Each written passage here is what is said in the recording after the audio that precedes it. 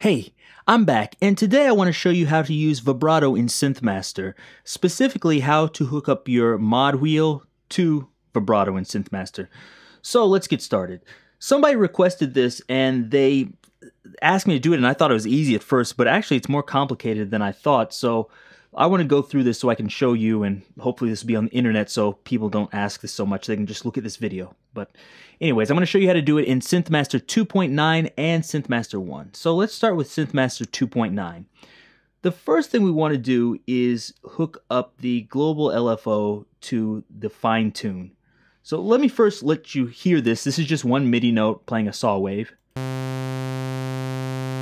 a bit annoying. Let me put a filter on there so it's not quite so annoying. Okay. So as I was saying, change the global LFO to SLFO1.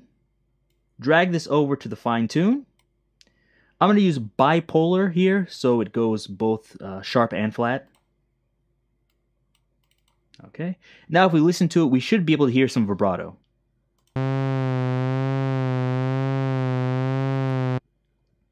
That's good, but I want it a little bit faster. So that's okay, but the problem is it's not actually controlled by my mod wheel. And if you see, I've drawn in some MIDI CCs here, and this is on the mod wheel, so MIDI CC1. And I'm just doing that because my keyboard is broken right now. The mod wheel's jerking all over the place, so it's easier this way. Uh, so next thing we're going to do is we're going to try to hook that up to the mod wheel. So you see here it says source LFO1 or synth LFO1, which I had there. Now we're going to use this via mod wheel. Just right click it, MIDI mod wheel. Okay. And you can adjust this however you want. Uh, let's do it like that. See how this sounds.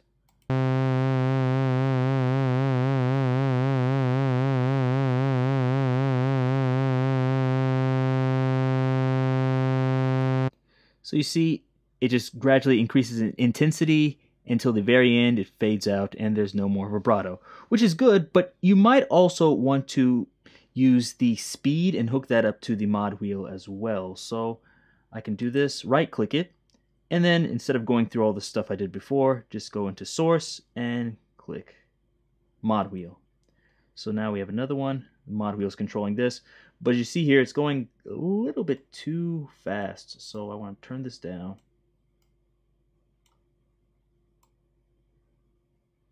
Maybe like that, so you can see there. So this is probably a little bit better. Let's hear it.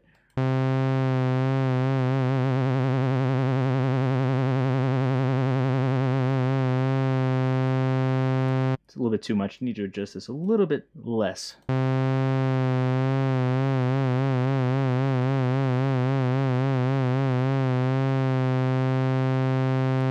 So that's closer to what I want. Of course, this isn't like the best sounding patch, but that gives you an idea how you can hook up vibrato in SynthMaster.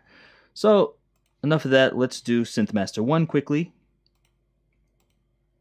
Same thing, initialize a new preset. This one, it, I couldn't figure out how to do this for a while, so I'll show you because it wasn't as intuitive, at least for me. So the first thing I want to do is go into Mod Matrix here I'm going to go into LFOs and vibrato LFO. This is important. I didn't understand this at the beginning. And then I'm going to go to the target, and the target should be oscillator 1 fine tune. And I should move that, I don't know how, how much, uh, however much you feel. And then as I move that, it should make a sound now. Let me see.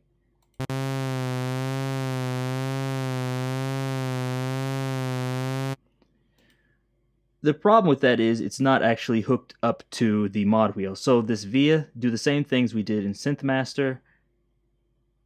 Hook that up to the mod wheel. Let me do this a little more so you can hear it.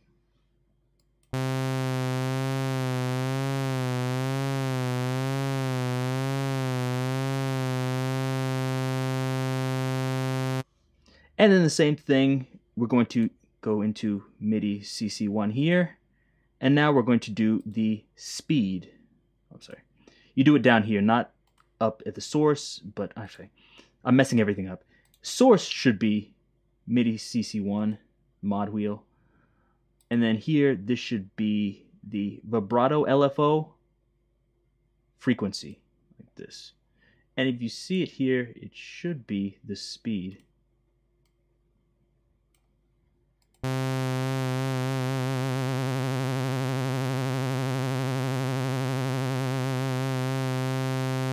That's way too fast though. Let's slow it down a lot.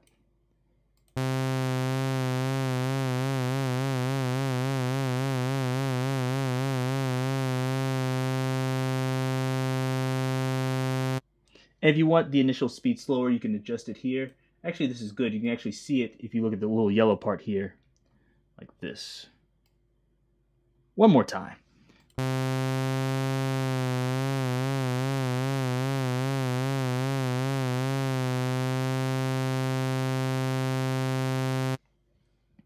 So that's how you control the vibrato in SynthMaster. I'll let you see it here. It's easy to see there. So next time, if you want to know how do you do it, look, it's right there. It'll show you how to do it yourself.